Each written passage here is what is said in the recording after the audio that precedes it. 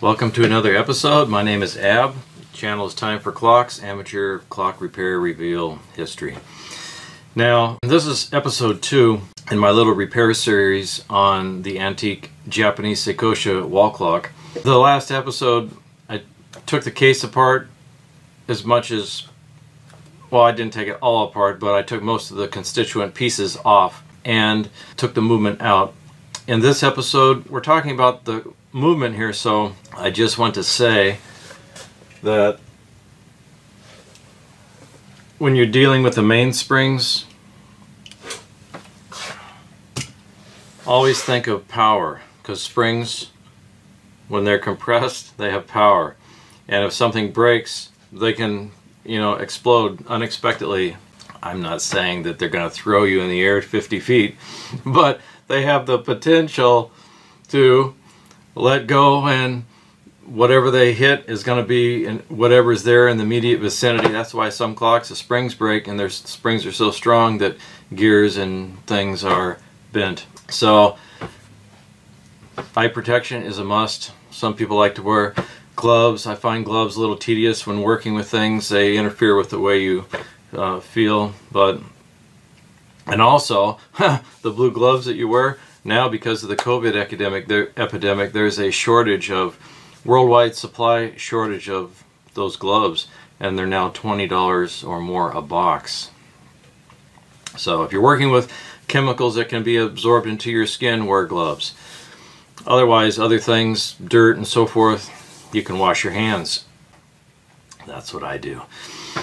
So, uh, and again, the way I do something isn't necessarily the way it is supposed to be done. I'm just showing you how I do it. How you do it, that's up to you, but you should always try to learn the best way from professionals before you do something and because you're undertaking all the risk upon yourself.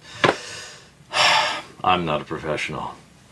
So this is so basically this video is entertainment purposes only.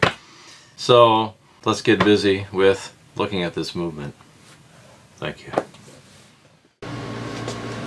I want to say first off that you know some people they might not know how clocks work but basically the two springs this is time and strike.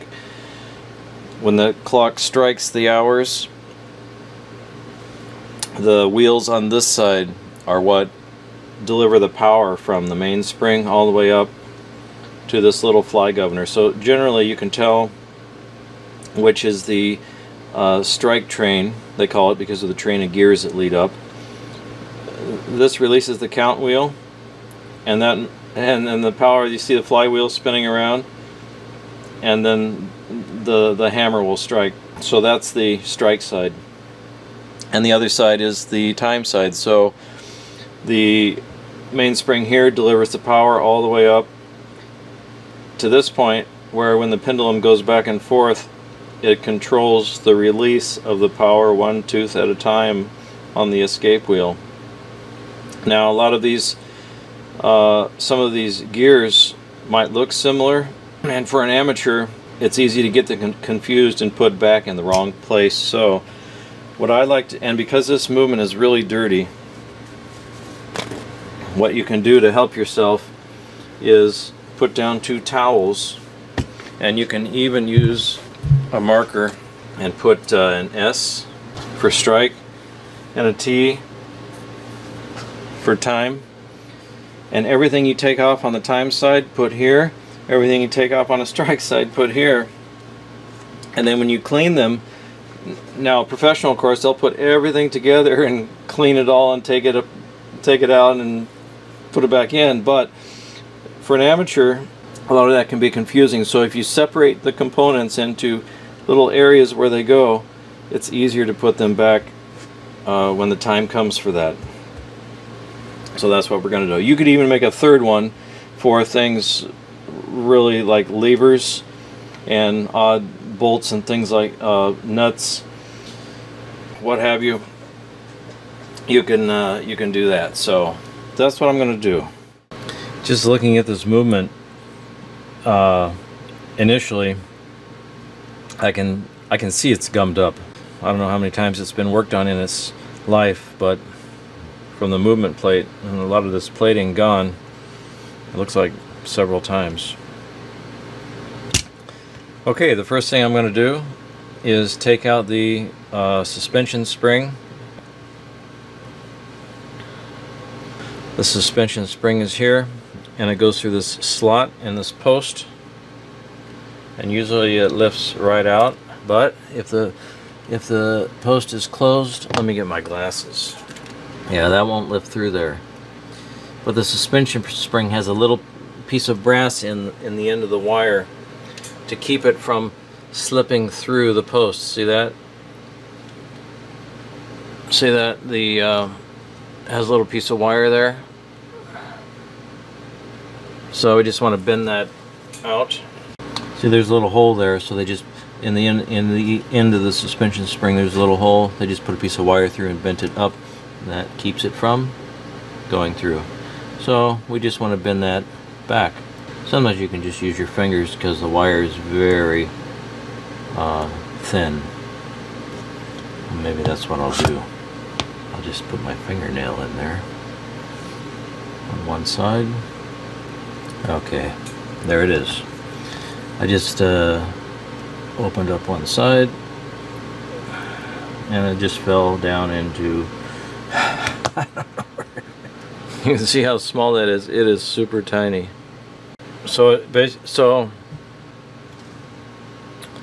it just goes through this uh, slot. Now this will pull through see? And then the suspension spring you can pull it straight through the uh, crutch. If it fits it doesn't fit so let's pull it the other way. Turn it. And it just lifts out. Anyhow there's the uh, suspension spring here and rod. Then the pendulum hangs from that. It's kind of a unique design. It's flat here instead of just rounded like the American ones. So when Hattori said he made improvements of the Western design that might be one of them. By the way if you have one of these little Seikosha wall clocks from the end of the sus suspension spring to it's uh, looks like four inches. Four inches. So that's the uh, if you're missing one of these in a clock it's handy to know see how that see see how that's running that means it's getting power from the from the spring so as long as there's power in the springs there's potential for danger when you take this apart. So the first thing I'm going to do is wind up each arbor and put this retaining clip on the spring. Now you can use the key, I don't suggest it because when you're winding it, if you don't have a firm, uh, uh, it turns to the left. Interesting, what about this one? Turns to the right, okay. Some, sometimes they turn differently. They both turn towards the center. To the left for the time, to the right for the strike. But when you wind with this key, if the if the click, when you hear that clicking sound, if if that click, that ratchet, if that breaks, this is going to spin around super fast. And if you don't have a firm grip on this, these wings, when they spin around, they can take the flesh off. So I use a uh, letdown key and apparently it's a number uh, 6 has interchangeable bits so you just put that on and then when you're tightening if it does happen to uh, the click breaks and the ratchet and it just starts spinning you can control it it won't it's not gonna it's not gonna hurt you so we're going to fully wind this. And as it winds, you can see the click. Well, you can't see it from there, but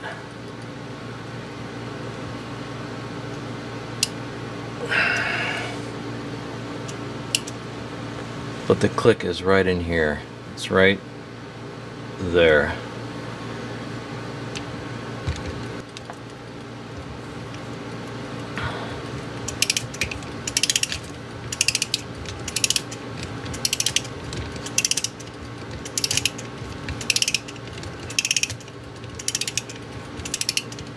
You only have to wind it up to the point where you can get your clip on it. Some clips are smaller. I only have this size, so I hope this size will fit. See, I, I put it through the bottom part here. You just put it through and then you turn it like this as you continue threading it through and see how it goes around, around the other side.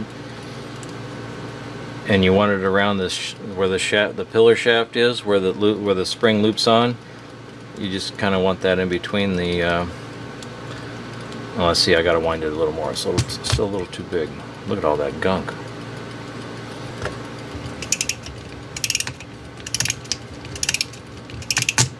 Okay. Okay now you see? Now now that fits on there.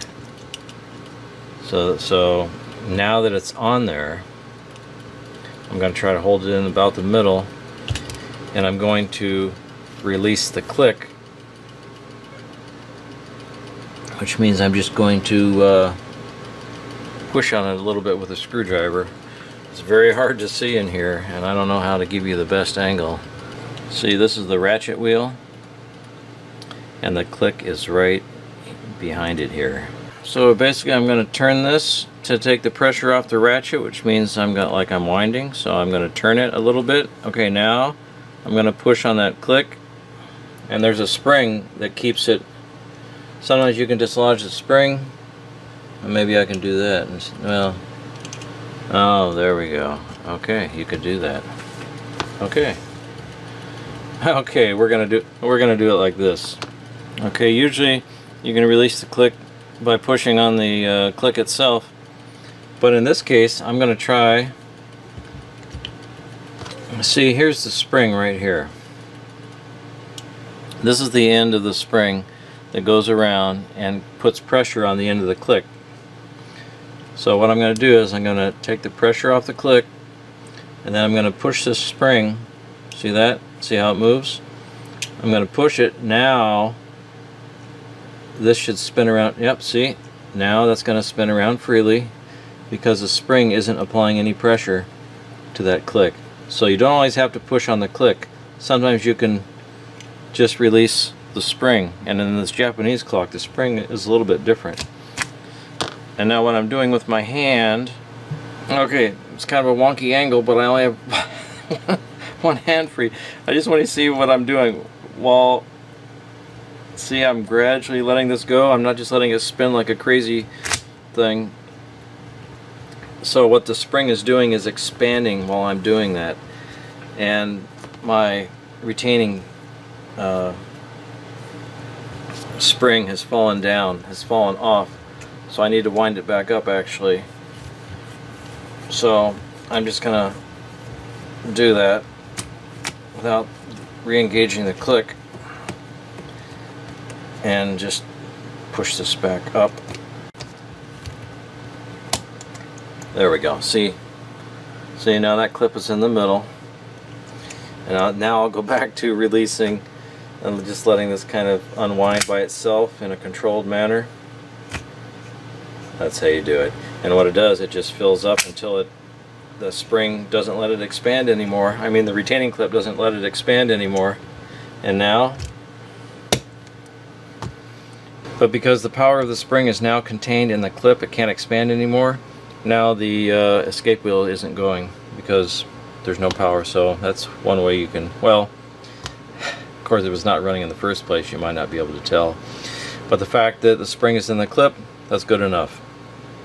We'll do the same to the uh, side. So I'll just keep doing this, contracting the spring until, there we go, see, now you can put it in there. So there you go. Okay. now sometimes the springs on one side or the other are different lengths. So it's good to keep those separate also. Push the spring off of that retaining clip, which is, I actually like the way they do that. Okay. So, kudos for Japanese design so far. And keep this half this clip up halfway as it expands. As I let this go, it's gonna... Okay, there we go. So you can kind of hold it in the middle if you want. Just don't get your finger in there. You'll get a pinch. Okay. Okay. So, there you go. It's expanded because it doesn't turn anymore. Alright, so there's two mainsprings with the uh, retaining clamps on there. So the power is considered taking taken off. There's no power uh, force being applied to any of the gears now and the movement plate can, and everything can be safely removed. Okay, we got the new battery in. Uh, oh, my uh, screwdriver's not demagnetized. I can feel that. So I wanted to demagnetize my screwdriver. But anyhow, the hour pipe and the minute shaft connected to this gear down here, these are called the motion works. They refer to because that's the motion in the clock that you see on the dial, the hands turning. So when they talk about motion works, that's what it is right there. Now before you start taking everything apart, or before I do, it's good to take a lot of pictures, but since I'm on camera, the, those will be my pictures. Or I can use my, you can use your phone to see where all the gears go. See? It's good to know where everything is. So when you put it back, well hopefully it was already in the correct position.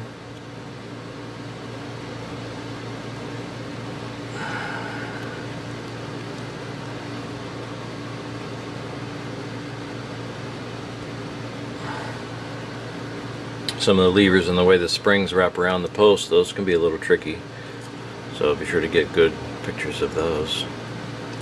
Okay, the first thing I'm going to do is uh, this piece here that hold there, this verge assembly, it's held on by a pin, and this this piece here, it goes over the end of the pin so that, that this won't come off. So typically those move like that. They're just held on with tension. See, like that. And it, and it goes right over the end of this uh, pin. So now that that's moved, this, well, I think it needs to be moved all the way down. So let's just put it all the way down. And then this should come off. There, see?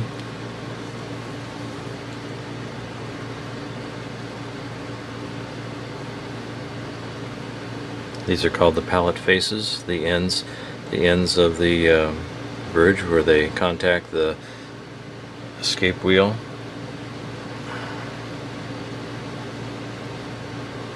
Okay, this is called the crutch. See that?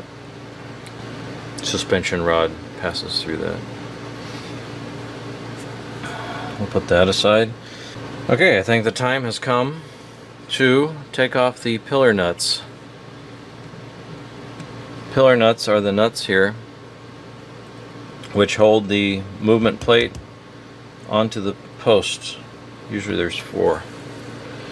So I'm going to use my uh, flat nose pliers because one of these nuts is a different size which happens otherwise you can use a nut driver this one is loose so you can just spin that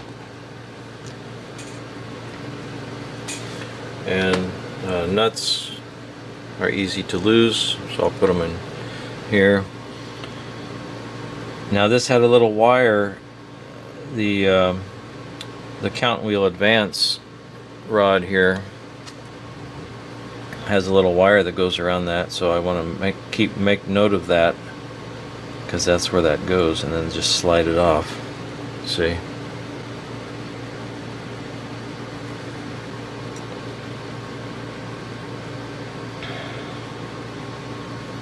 that out of the way.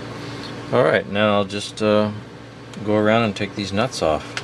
Now I don't, now somebody see all the scratches here? When you put this on, I don't go all the way down, I leave it up a little bit so it's not contacting the plate. That way when I turn it, it's not going to scratch. So I go bottom out all the way down, pull it up just a little bit, and then I turn it, and that one is fairly loose. So there's another one. Now this thing is so dirty that I'm not worried about touching it because my fingerprints are not going to do anything to this except get my fingers dirty. And there's one more pillar nut here. Okay, so there were five pillar posts. One, two, three, four, five. Now, this top plate now should lift straight off. And this, this will come with it. But everything else should go through the holes. So let's hope for the best. There we go. Okay.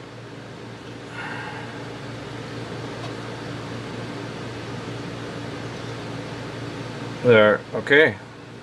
There it is. The top plate came off. The escape wheel assembly came with it. Now we can take that out carefully.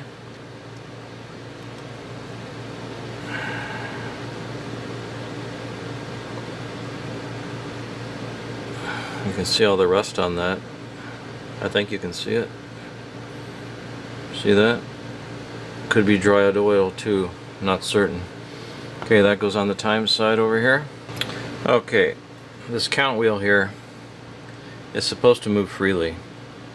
I mean, it's not supposed to spin around 60 miles an hour. It's just supposed to move around freely. And it's held on with this clip. And this clip has a has a little notch. This clip goes into this notch here, so you just raise the end very, very carefully. So you just you just uh, go in very and raise that up just a little bit. Okay. So you, it doesn't it doesn't need to come out far, and then this will slide. So I'm going to push this retaining washer this way with my fingers at the same time as I lift up on that tab. So lift up, push, see, it just came off. And now I can pull it out the rest of the way. It doesn't need, this is very delicate. You don't want to be bending on this thing. So that's a, that is a tension, some type, I don't know what the proper term is. I could, I could look it up, but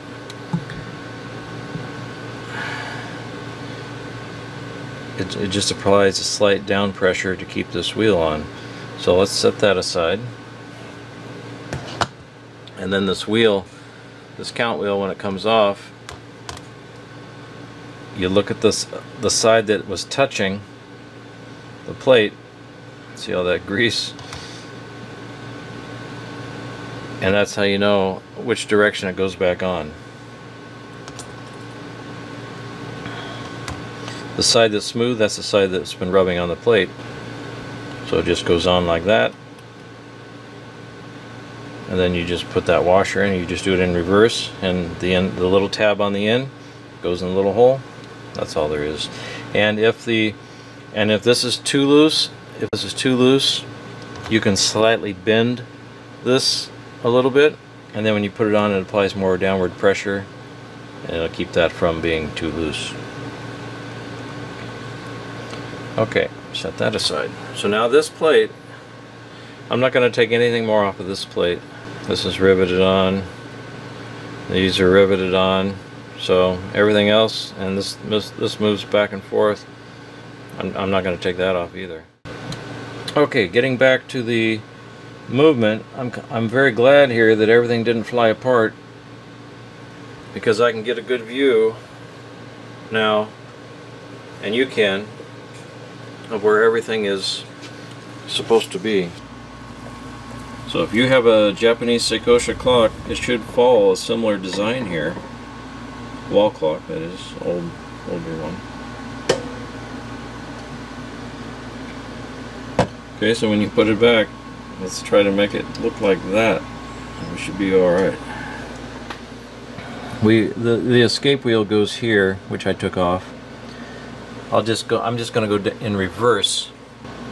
This one comes out and it goes up on the blue towel directly below the escape wheel. Okay, the next one.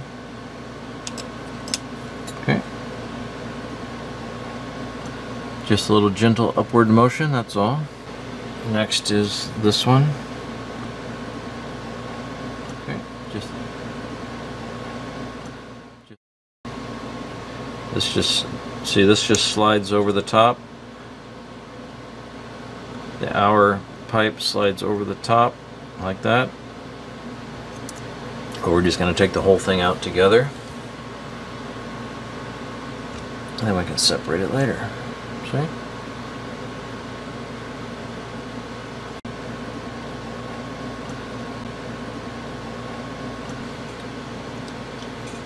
But you can see how the when it strikes the gong, this this this pin hits it and that's what makes it go. I probably should have detached that wire there first, but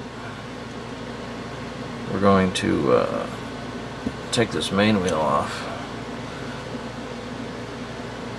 And just lifts straight up, so let's get it out of its bushing down there. Slide it aside, and then straight up.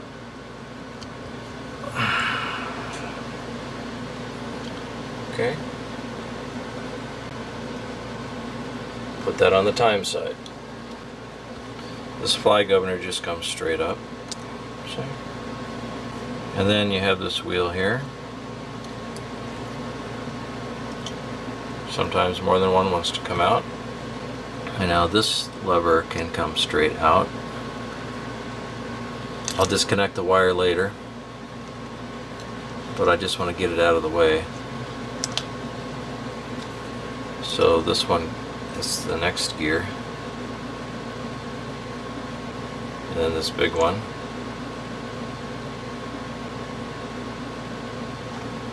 And now this main wheel for strike train should just lift straight up. See? Okay. Uh, you can use pliers, you can use tweezers, whatever. Now, you can use your fingers. This first one is looped around this post and it'll just lift straight up. You can see that, it'll just lift straight up.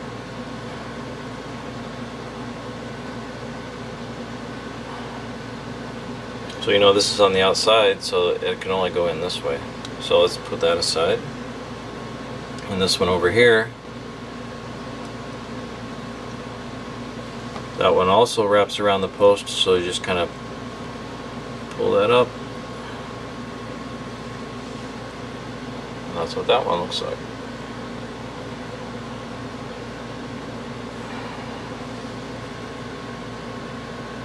This is near the escape wheel, so I'm gonna I'm gonna put that over on the time side. Or you could just put all the levers together.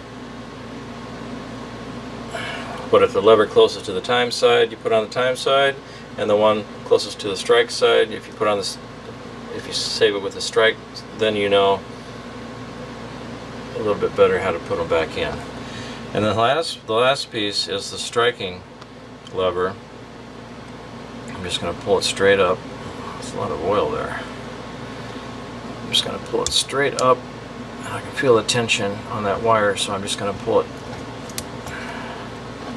and it, and it wraps around Oh, that's why. Wow, it's a really long one. So, we just want to dislodge this wire like this.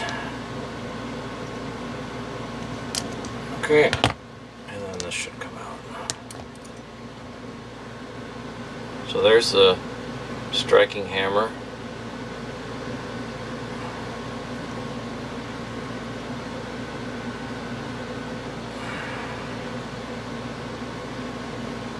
Okay. Then the plate itself,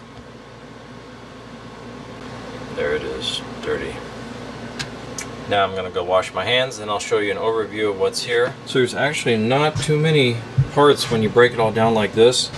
And as an amateur, as a beginner, as a learner, I might clean the movement plates.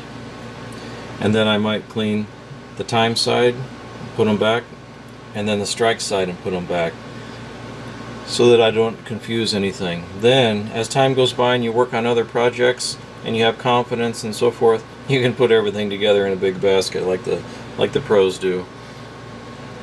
That's just how I do it. Or if you have a photographic memory, that might help as well. But we're not quite done because the springs need to come off of these wheels. So let's take the spring off. If you want a good tutorial on using a winder, uh, Bracken Clockworks, he did a nice he did a nice demonstration on Ollie Baker style winder. This is my homemade winder. So I'm going to start with the um, the strike side first. And usually when you're working with springs you want to wear gloves and safety glasses definitely. So the loop end just goes on this post and this end goes in the little hole here. So okay that's a little high so I'll put that in the next lower one. Hopefully that won't be too low. Okay, that works. Okay, you just want to keep keep that in there. And then I move this here. I use the same key from my letdown tool. Just slides right in.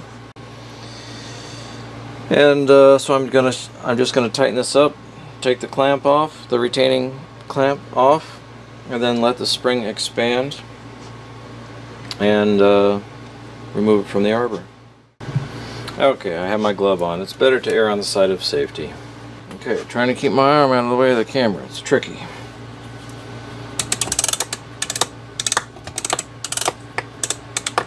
See, if I let go, it'll stop. So that's uh, kind of like a safety. Okay, now the clamp is free. Uh, there we go. Okay, so now it's free. And now I'm gonna reverse the ratchet here. And I'm slowly gonna let this unwind and expand at a controlled speed here, see?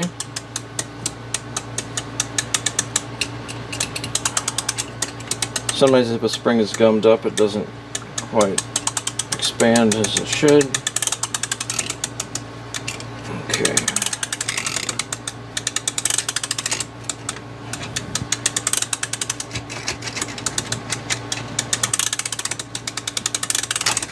Okay, there we go. Just kind of coaxing it. See, I'm doing this.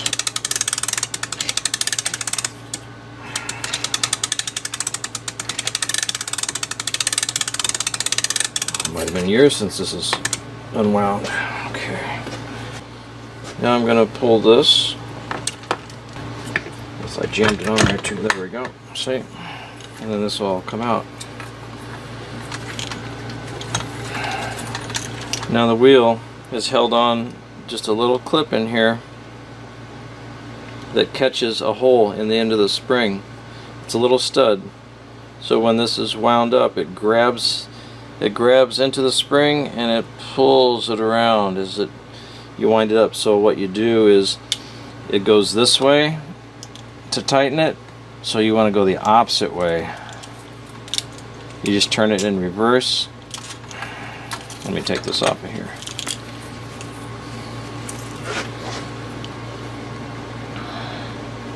See, when you wind up the spring, it, it pulls the spring. So what you do is you just turn it in reverse. So sometimes you can just, yeah, this little fussy, hold the coils. That might be loose, I'm not sure. There we go, see? So then it comes out. Now, let me set the spring down. So now we're going to take a look at this Japanese main wheel and it has this kind of like a what is that a protective piece on there? But you can see how the see this is the click. Wow it has uh, it's very interesting. It has a a hole in the end of the click that the spring that the spring actually slides through in the click. See that? So it's like one See that? The end of the spring goes through a hole in the click itself. See, and then when this, all you do is there's a little, there's a little tab here. The spring goes over that. And now when you turn this, the, See? It has the ratchet action with the force and tension from the spring on the click, click itself that interacts with the ratchet wheel. And on the other side, that's the part inside the spring that you don't see. But there's that little, there's that little, that little piece that grabs the end, the hole in the end of the spring. In this part. Okay, I'm going to do this to the other spring. And then that's, that's, that should be it for this session. Here's, this, here's everything that we took that it was taken apart. And these springs they actually didn't look as bad as I thought they were. Now that this corrosion here which I thought was rust it could be rust I haven't looked at it closer it also could be dried oil that has sometimes it has a reddish hue to it. But the spring actually doesn't look bad. I, I think these are replacements I'm not an expert, so I am not sure if that spring is considered set. Set meaning it doesn't have the elasticity that it used to have, or the springing ability, or the ability to expand that it once had. I don't know. You can leave you can leave something in the comment and let me and tell me if you think this spring is set. And this one this one is a little more set. See how these uh, the circles are a little more concentrated here. They're more compressed. That's a sign that it's uh, set. But I, I'm not. I'm not certain. All right. Well, I hope it wasn't too tedious. I know for advanced person, this this will seem like baby steps, but I hope it's helpful because a lot of people are learning clock repair on their own. They want to repair clocks that have been in their family or that they've come across. It's a nice hobby. So it can be very daunting taking a clock apart. Of course, putting it back together, that's that could be even more daunting. And I, whew, I've had troubles in that area too. But segregating the parts as you take them apart and filming and taking pictures, that's a very helpful when you start to put them back. Okay, so anyhow, feel free to leave your comments. I learn from the people that leave comments every time I have a video. Uh, Troy, a new subscriber, he left a comment that that label on the back of the clock that I showed, all in Japanese, he said that was a warranty label from a clock repair shop indicating that this clock was cleaned and serviced December 1st, 1935. A clock can run a good while before it needs cleaning and servicing, usually every few years. But back in the day, maybe 5, 10, 15 years, sometimes clocks just go till they stop and then people take them in for a, a servicing. But I still think this clock between 1900 and 1920. I think that's when it was made. I'm leaning more between 1910 and 1920 now. Who knows? It's a good guess, I think. Uh, again, if you're if you know about Japanese clocks, please leave some info. Myself and others, I'm sure, would enjoy seeing your comment. I think the next step that I need to do is cleaning all these parts or working on the case. We'll see. Alright, we'll see you next time. I hope everyone stays safe and take care. Bye for now.